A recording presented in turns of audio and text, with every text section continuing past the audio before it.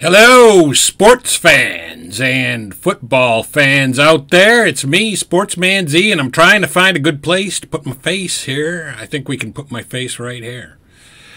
Um, I'm here with my week nine picks. Now, this week, the picks are going to be on the day of Thursday night football. So, you know, if you were looking for them earlier, I have put out a disclaimer that said it could be, I could put my picks up on Tuesday night I could put them up on Wednesday, or I could put them up first thing in the morning, Thursday morning, and here we are. Now, last week, I was 12 and 4. I'm just going to cut to the chase. I was 12 and 4 last week. So, uh, you know, as the song says, how you like me now? So, yeah, 12 and 4. We're almost back to 60% for the year. Almost. Not quite. But, uh, you know, we're right there. Missed it by that much. Um, last week, there thankfully there was only really one game that went, you know, that like everybody in the world expected to go the other way, and that was that Kansas City lost to Denver. Um, and I don't even know that everybody in the world thought that Denver was going to lose, or yeah, that Denver was going to lose, but uh, they sure did. So we are we find ourselves going into week nine here. Um, and you know what? I'm going to make myself bigger. Let's do that. Let's make myself a little bigger. So we are looking at the week 9 of 18, as you can see the schedule here. And the first game is going to be uh, on Thursday, the 2nd of November. And uh, it's the it's the day after All Souls Day and two days after Halloween, where we only got two trick or treaters. Two. Not like 200, two. So I don't know what happened there. But anyway, let me go up here and get my pen. I'm going to, let's see, we're going to. It's what do we want to do this time? Yeah, let's do blue. We'll go. We'll stick with blue. So uh, and then uh, yeah, I think we're good with the thickness there. So you got the Titans at the Steelers. Now the Titans, they've started playing Will Levis, and uh, Will Levis looked dang good. The guy threw four touchdown passes in his debut. He threw four touchdown passes. I think it was his debut. Um, so, and the Steelers, they may not have Pickett at quarterback for this game. It might be my good friend Mitch Trubisky. And uh, still, the Steelers are the same. They're the same team as as Dennis Green said. They are who we thought they They're a great defensive team that can't score very often. So I'm going to go with the Titans. I'm going to go with Will Levis to take that Steelers defense apart. And all right, maybe he's not going to take it apart, but I think he can score enough points. You know, he can score 12 points because that's basically what the Steelers are good for. Now that we're going to start the Sunday games, and the first one you got is the Dolphins at the Chiefs. Now, I've been saying for a while that the Chiefs are a smoke and mirrors type of a team. They win, but they, well, let's just say they just barely win. They play down to competition, and uh, yeah, so we're going to go with the Dolphins. I'm going with the Dolphins here. The Dolphins are on a roll, a little bit of a roll. Kansas City, they looked really bad against Denver. And even though they're at home, I think the Dolphins are going to beat them. I think the Dolphins and that high flying offense are going to beat them. By the way, I like their 70s throwback uniforms that they played with last week. Did you see that? Awesome. Nice touch. Now we've got the Vikings at the Falcons. And you know I like what the Falcons are doing this year. But did you see what happened to the Vikings? They lost Kirk Cousins for the year. He's out. So I think the plan is to go with the rookie. They did sign Josh Dobbs, but Josh Dobbs is going to need time to learn the offense. So they're probably, I'm going to guess, they're not going to throw Josh Dobbs right in there. I think they're going to. Uh, I know a, a, a, friend of mine is a Vikings fan. He says what they should do and what he thinks they probably will do is play the rookie, see how he is, and um, if he can uh, if he can handle it, they'll just go. They'll make Dobbs the backup for the rest of the season. And if he's a little overwhelmed, then they'll put Dobbs in once he learns the offense. But you got to believe that's not going to be this week. And even if it was, is Josh Dobbs really that good? No. So uh, I'm going to go with the Falcons. I'm going to go with the Falcons and their continuing march to the playoffs. I mean, I don't know if they're going to make the playoffs, but right now I think they're right up there near the uh, top of the uh, NFC South. Next, you got the Bears at the Saints. The Saints are kind of a mess. I mean, they're a good defensive team, but they're basically a mess. And the Bears made a trade deadline deal to get Montez Sweat from the Washington Commanders.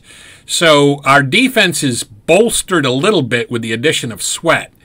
Not that that makes it a good defense, but um, I think that with another week under his belt, you know, um, he didn't look good last week. He threw a couple of interceptions, two or three interceptions, but he's learning as he goes. And, you know, maybe they've got, who knows, maybe they've got uh, Fields back this week. I don't know, but I think the Bears are going to pull this one out. I think they're going to beat the Saints in New Orleans. All right, the next one you got is the Rams and the Packers. And the Packers are just a complete pile of doo doo this year. The Rams have had their moments. The Rams have a good offensive team. Uh, they've got uh, Puka Nacua. Like, is that his name? I don't know. And they've got the other guy, you know, that they always had, the other good wide receiver, and Stafford at quarterback. The offense is fine. The Rams' offense is fine. It's just they're lacking a little bit defensively, but the Packers are lacking everywhere. They don't really have a good defense. They lost a lot of their receivers to the Jets. They lost their quarterback to the Jets. And, um, you know, frankly, Jordan Love is not proving that he's picking things up quickly enough. We're going to go with the Rams. Take the Rams on the road in Green Bay. Next one you got is the Commanders and the Patriots. I got to look and see who I got in this one. All right, so this game is in New England. Uh, the Patriots are, I mean, they're bad, but every once in a while they pull out a game that you're surprised that they played that well. But really, that describes the Commanders, too. Neither one of these teams is really good. They didn't do much at the trade deadline. In fact, the Commanders shed two of their defensive players as the aforementioned Montez Sweat went to Chicago. And uh, they also lost Chase Young to um, the 49ers, our good friends, the 49ers, that have been on a, on a losing skid. So, um, you know, I'm going to go with the Patriots. I'm taking the Patriots. They're at home. They're a Belichick coach team. The Commanders have lost two key players on their defense. And that brings us to the Seahawks and the Ravens. Now, you know, the Ravens were one of those teams, like Kansas City, that was uh, sometimes they're a smoke and mirrors team. But I don't know. Now I think maybe they're starting to put everything together. Now they're starting to hit their uh, hit their groove. And uh, but the Seahawks, they did. They went out and they got a key defensive piece from the Giants. So this is going to be tough. But the Ravens are at home. They have a high flying offense. I think it's still better than the Seahawks. We're going to go with the Ravens there. Next one you got is the Buccaneers and the Texans. I really hate this game because it's like not only is it a who cares game, but neither one of these teams is really good. Um, and I yes, I did take the Texans. I'm going to take the Texans. I'm really only taking the Texans because they're at home. I don't really have any faith in either one of these teams. Now you got the Cardinals at the Browns. Now the Cardinals, Kyler Murray may be back, but even if he comes back, it's going to be his first game back. We don't know if he will, or at least I don't. Um, and then they've got some guy with a weird name that's uh, uh, like he was the second or third string quarterback, and he was behind Dobbs, and we know that Dobbs is now in Minnesota. So, uh, yeah, and the Browns have a good defense. They have one of the best defenses in the NFL. I don't think it really matters who the quarterback is. Deshaun Watson might be back. He might or might not be back. But um, if he's not, they're going to have PJ Walker, and he's learning on the job and getting better. I'm going to go with the Browns here. I think the Browns can beat the hapless Cardinals, the hapless depleted Cardinals. And that moves us along to the Colts at the Panthers, and we're just going to cut right through the crap and we're going to take the Colts because the Panthers are bad. Now, the Panthers did win last week. Somehow they managed to win, but they're bad. Next one we got is the Giants and the Raiders. Again, this is another game. I don't know how to call this. I mean, you know what? Uh, I mean, because the Raiders, they fired their coach. They fired McDaniels and they fired their GM. And they don't look very good. They don't have a really great defense.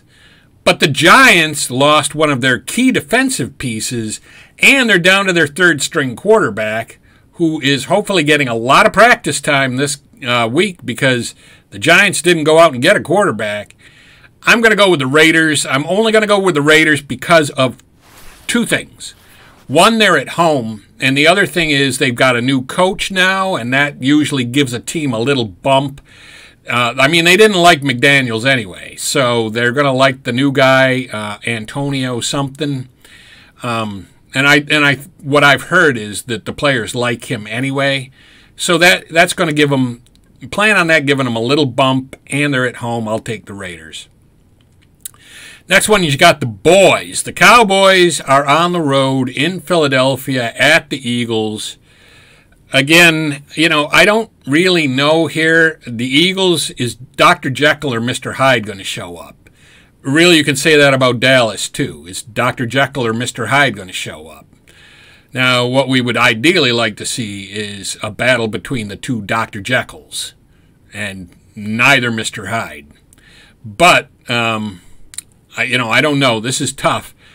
Um, the Eagles, though, the Eagles have been really hot lately, and they're home. I'm going to take the Eagles over the Cowboys. Should be a good game if the Cowboys play like they did last week when they destroyed somebody. They just took them completely apart.